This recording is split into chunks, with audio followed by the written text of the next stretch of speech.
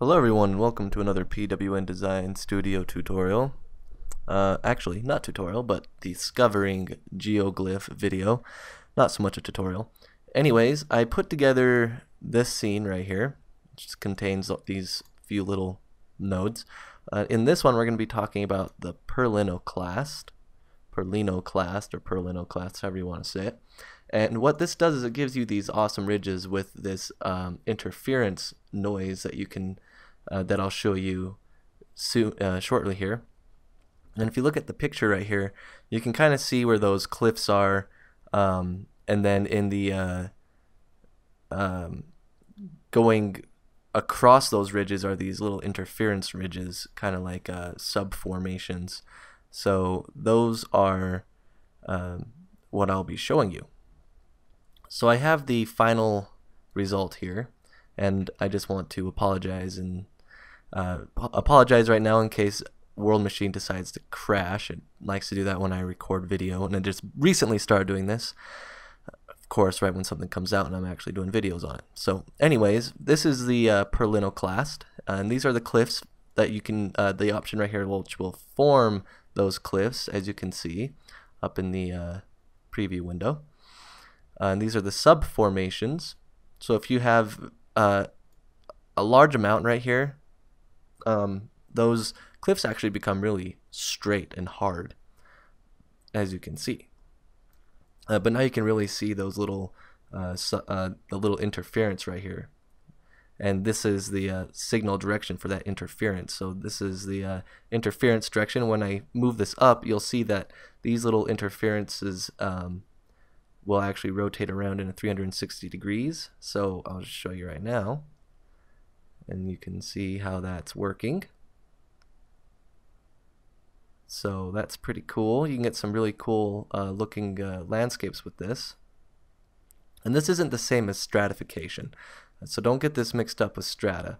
This is a little bit different. And then there's signal direction, which this will change the direction of your, see I told you, it'll probably do that. That's why I save everything first.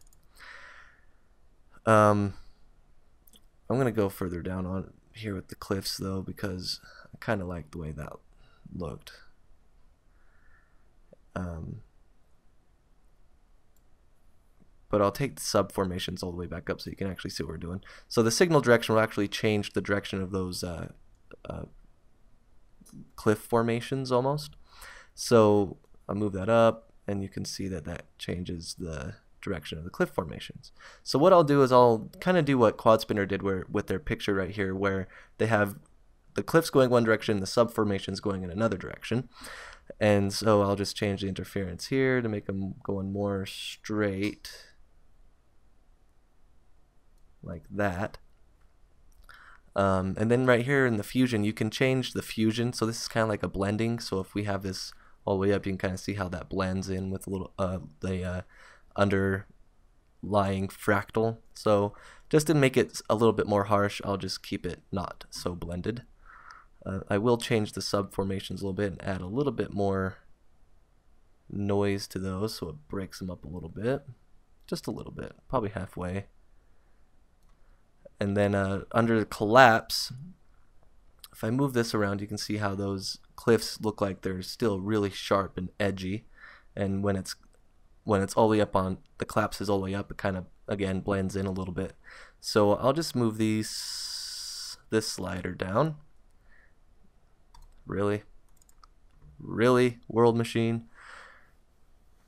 And it's getting bad too, like it's getting to the point where it's just getting really difficult to make videos with this freaking thing.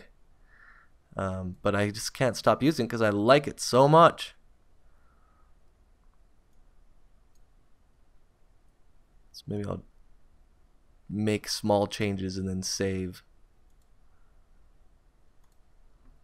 There. I have to go back and do that again.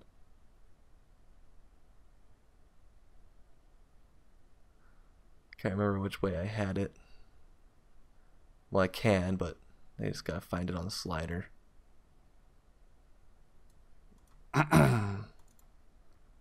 cool. I'm so glad that I'm not getting paid bucket loads of money to do this video or else I'd be screwed. Maybe if I make smaller changes and give it time to update, it won't have such a hard time. Nope, it's just going to keep doing that anyways. So I'll just open it and you get the idea. Um, you get the idea of what I'm talking about. I'll just go back in and explain the settings still. Uh, refinement. So if collapse, uh, if you take the collapse down, the edges will remain, uh, you know, really strong and straight. And if you bring it up, it looks like little areas of them actually collapsed. Uh, refinement is kind of like a, you know, just a refinement. If you take it up, it, I just don't want it to crash.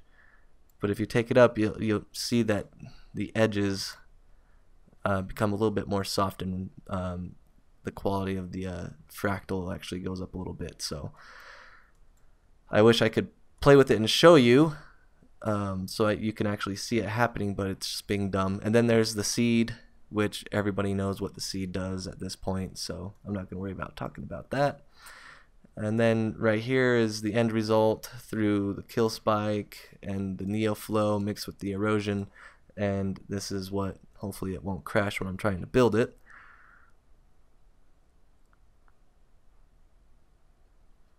Ah, that's just so frustrating. Keeps keeps crashing and it's just mind-boggling, frustrating. Just want to make this video and show you guys what's going on. Uh, but you can see that the uh, Perlin-classed or Perlinoclast fractal actually builds really quickly. Only took about 10 seconds. That's not too bad. And I'm rendering it out at 1025 by 1025. So not a really high resolution, but you know, a decent resolution. And then for those who have the free community edition of this, or thinking about getting it, I will show you what the quality of the train looks like at 1025 because that's going to be the max extent that you're um, going to be able to render out at. And I'm doing most of my renders out at that resolution anyway, so that people who don't have the indie or professional edition um, and are thinking about getting it can you know you can see the results. So obviously these are not realistic looking patterns because I can't change them without World Machine crashing, but you can kind of see what it does here. There's our uh, there's our big cliff, and this is our sub interference.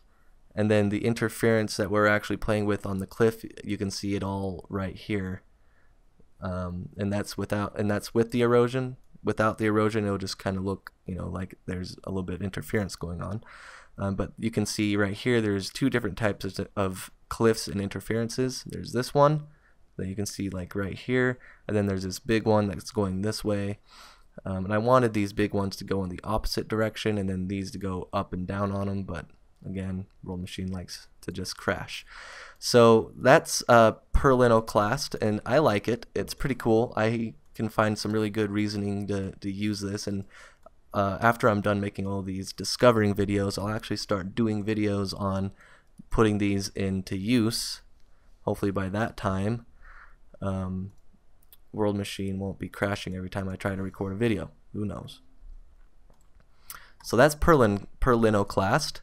I want to thank you for watching this video. Please rate, subscribe, comment, share, whatever you feel like you want to do. I would appreciate if you can help the uh, exposure process. You can also go to www.pwndesign.com and there you will find more information regarding more 3D applications.